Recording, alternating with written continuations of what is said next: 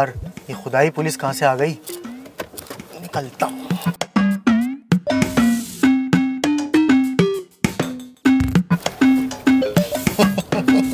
A few minutes later.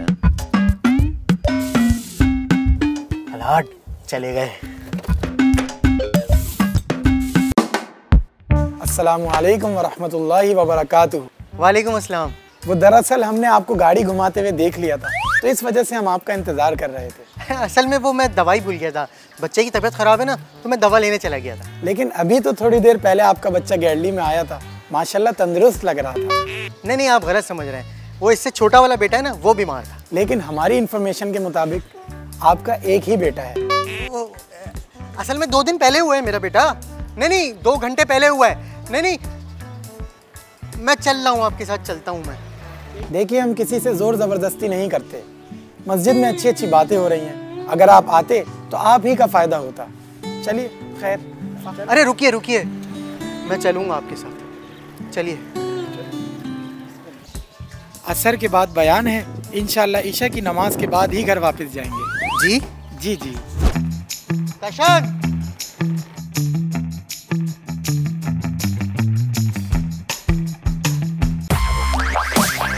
भाईजान यार sixty four कहाँ पड़ेगा?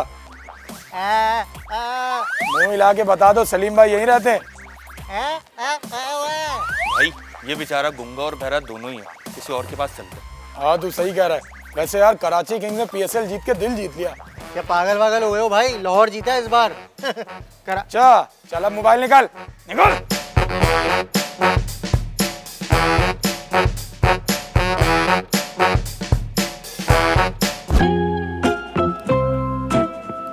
क्या है बेगम? क्या कर रही हो? अरे आप आ गए। कुछ नहीं बस बेटी की टोपी बुन रही थी। माशाल्लाह यार आज कितनी प्यारी लग रही हो तुम। प्यारी?